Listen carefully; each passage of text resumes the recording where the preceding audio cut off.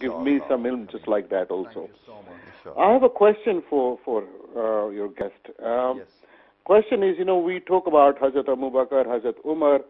Um, has he read anywhere what their physical appearances were?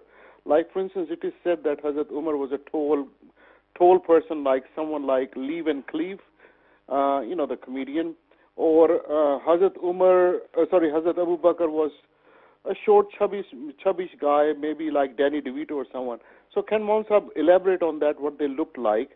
Uh, I would like to know because I've got a lot of Sunni friends and uh, they always want to know the appearances of Hazrat Umar and Abu Bakr for some reason. I don't know why. Thanks very much.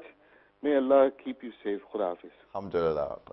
So um, Yeah. the question is on the physical appearance of I must admit, uh, you know, even in my historical reading, I've never been bothered to look for their, you know, how they looked like. It Mm-hmm. doesn't really make a difference to my life, and I really don't think it makes a difference to most people's lives. Right. Um, I suppose, you know, with Umar ibn al-Khattab, the best description in terms of physical appearance would be that when Umar would walk on one side of the road, Shaitan would go on the other. The other side, and yeah. uh, Which you is know, and clearly in the yeah, yeah, and also in terms of the fact that a woman would miscarry her, her, her uh, baby when pregnant when she saw Umar ibn al-Khattab's face. So that should give you enough of an indication as to his physical appearance. Otherwise, you know, such a thing really doesn't interest me and I don't lose any sleep about what people look like. Yeah, sure. Alhamdulillah.